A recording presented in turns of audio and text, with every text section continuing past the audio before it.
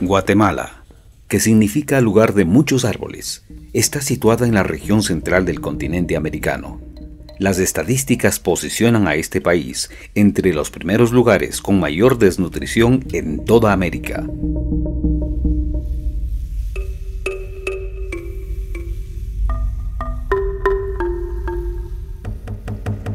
Este es uno de los problemas que afecta seriamente a miles de niños en este país, especialmente en el sector rural, donde la escasez de recursos económicos es más notoria. Una de las poblaciones con varias características de pobreza es Ciudad Quetzal. Esta comunidad se encuentra al suroeste de Guatemala, perteneciente al departamento de San Marcos. Su principal actividad económica es el cultivo de café y el idioma indígena predominante en esta región es el MAM.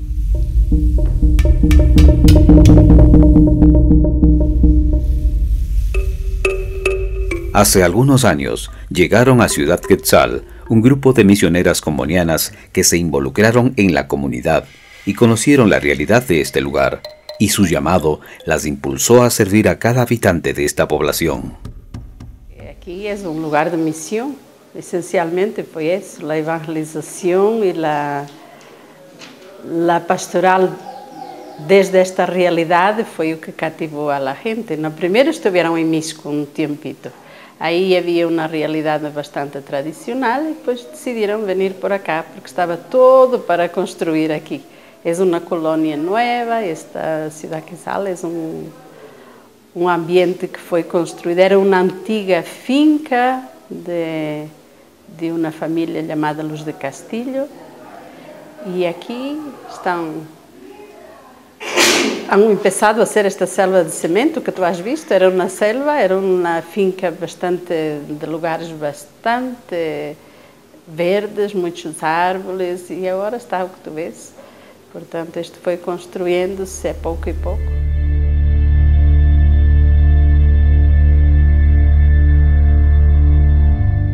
Ciudad Quetzal es una de las zonas con más conflictos sociales. Cada día los habitantes de este lugar deben enfrentar la falta de empleo, oportunidades para progresar y sobre todo la violencia.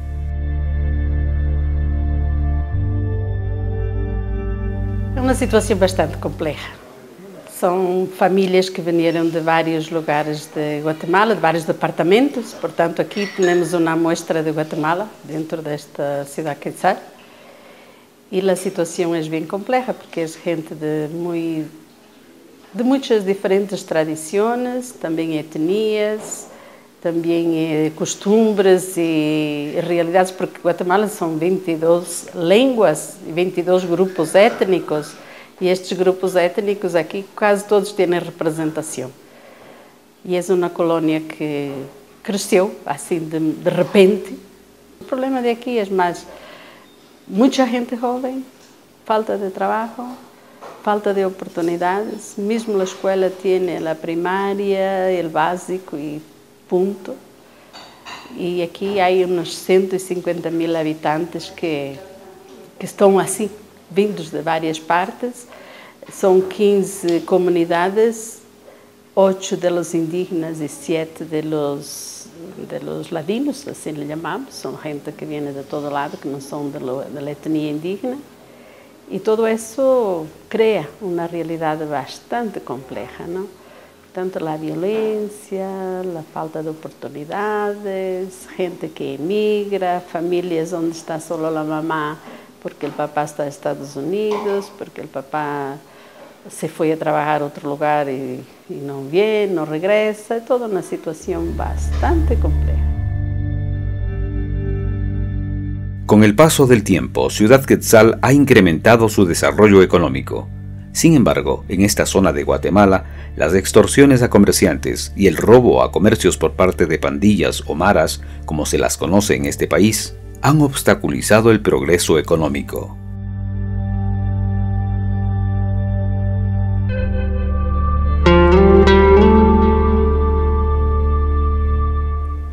Las maras, los jóvenes que se agrupam em maras e hacen desastres, não? E estas mesmas maras estão manejadas por narcotráfico, portanto, matam uma pessoa e ganham 300 quetzales, portanto, são gente que não tem de onde le venga nada e caem nessa, nessa trampa, não? E depois as madres que se quedam solas com seus ninhos em braços, é outro problema bastante forte.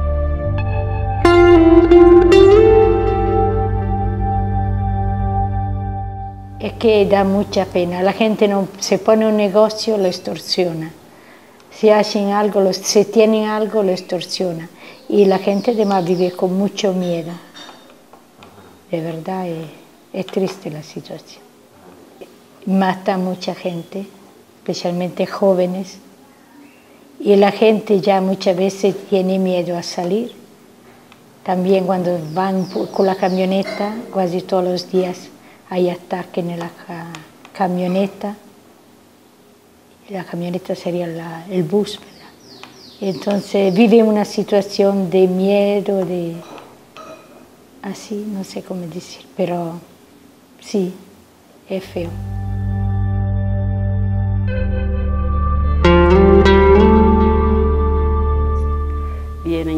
Hacen su casita, están tranquilos, de un momento al otro le piden tantos mil y ellos no tienen por dónde darle y se van, se escapan y dejan todo. Portanto, há uma mobilização forçada, a par da migração, há também um, um ter que migrar forçado para escapar a esta situação de violência. E este não é uma nem duas situações, é, eu acho que cada semana há, há gente com estes problemas que têm que partir. É complicado. La gente tiene una fuerza dentro que no sé de dónde le viene para hacer fiesta, para sobrevivir a todo esto, y, pero vamos escarbando un poco más. Hay tres grupos que están, que están haciendo un proceso de acompañamiento, más a nivel psicológico, es crecimiento personal. Y gente escucha lo que dicen esas mujeres, ¿no? O que eles dizem. Ou são problemas com o marido, ou porque não têm marido e são os de fora que eles fazem problemas, é uma situação bem delicada.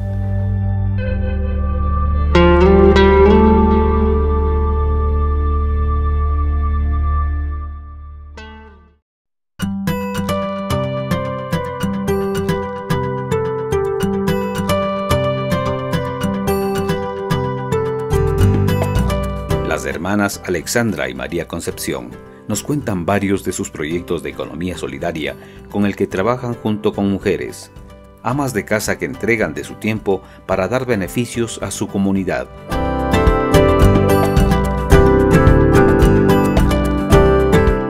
Economía solidaria nos reunimos para, uno, para que la gente, especialmente las mujeres que no tienen trabajo y los jóvenes, pueda encontrar una fuente de trabajo, pero no personal, sino en grupo, y ser solidario.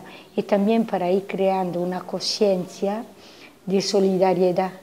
Y porque tanto problema viene porque ahora la mentalidad de nuestra sociedad es un poco egoísta, cada uno piensa a sí mismo, cada uno su interés, nosotros en esta economía damos también talleres de, de espiritualidad, sobre la solidaridad y sobre muchas cosas, misericordia, lo que sea, para ir creando esta conciencia de ser solidario, de no querer, por ejemplo, buscar económicamente un, una ayuda solito, sino en grupo. Eso sería, y pensar en la otra comunidad. Por eso las mujeres que han empezado en esta economía solidaria van a las diversas comunidades a enseñar para que todos puedan aprender algún trabajo e ir también dando talleres para esta conciencia solidaria.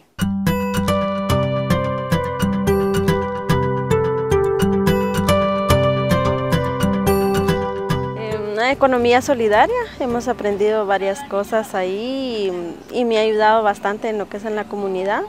Habemos tres señoras allá que estamos trabajando en lo que es la bisutería y yo salgo a enseñar en las comunidades lo que es la de champú de plantas Me gusta ver las personas, las señoras trabajando, motivadas y, algo que ellas han aprendido, lo que es economía solidaria, de no enriquecerme por mi propio dinero, ni extorsionar a mi, a mi prójimo, sino que ayudarnos unos a otros. Tal vez em, económicamente y, y la mente de uno se... A mí me encanta mucho trabajar con ellas. Cuando yo las miro trabajando, a mí me motiva a seguir adelante aunque hay pruebas y, hay dificultades, pero nosotros en medio de eso seguimos adelante y sabemos que la lucha sigue y, seguimos trabajando para que nuestra comunidad vea, la realidad de lo que es amar al prójimo. Dios es el centro de cada uno, pienso yo, de, seguir adelante y, apoyarnos cada día en Él, ¿verdad? No, no soltarnos de su mano porque Él es el único que nos, guía y nos guarda eh, en nuestro país tanta violencia y yo sé que solo Dios nos puede guardar. En mi comunidad tenemos un grupo de mujeres eh, viendo las necesidades en que hay mucho en la comunidad. Entonces formo parte del grupo de mujeres para organizarnos, ayudar a más mujeres, eh, por ejemplo, viudas o ancianos, enfermos. Vamos a recaudar víveres, vamos a recaudar dinero, les vamos a dejar para ver la necesidad de que hay mucho en la comunidad. Entonces, eh, eso es lo que hacemos el grupo de mujeres. Todas nos unimos, vamos a pedir y en casa en casa, a veces nos reciben bien, a veces nos reciben mal, a veces nos dicen muchas cosas, ¿verdad? Que no tenemos nada que hacer y todo, pero lo hacemos de todo corazón. Y, y cuando lo hacemos, pues nos sentimos muy bien. Hay unas personas que lo agradecen de verdad, porque hay personas que de veras lo necesitan.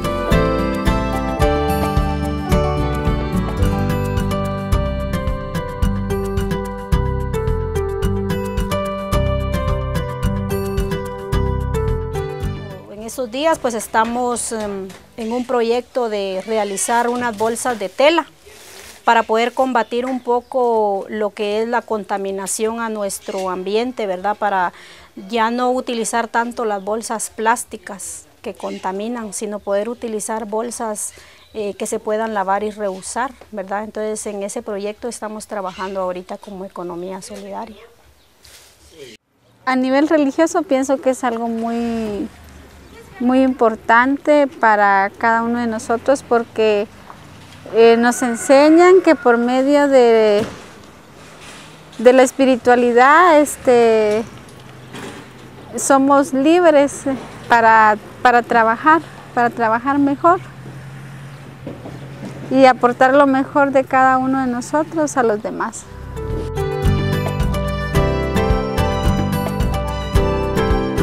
La constancia del trabajo que han realizado las misioneras a través de las capacitaciones, talleres de manualidades y enseñanzas ha dado fruto en familias que emprendieron su negocio para el bienestar común. Mira, esto surgió a través de una capacitación que tuvo mi esposa con la hermana Sandrita, que es conocida más como Sandrita, hace como unos cinco años Incluso yo estaba en contra de, la capacitación de ella. Eh, no sé, no, no, le, yo no le encontraba sentido a esto y gracias a Dios eh, surgió obviamente el negocio y gracias a Dios pues eh, por el momento nos va muy bien. Ya que ella aprendió a hacer muchas manualidades, collares, aretes, etcétera, etcétera. Me parece muy excelente ya que capacita a muchas personas, no solo en en manualidades, sino que en otras artes, que es muy importante para el personal de acá en Ciudad Quetzal, ya que eso sirve mucho hasta para el desarrollo de ellos mismos, ¿no? que es un soporte eh, para el hogar. ¿no?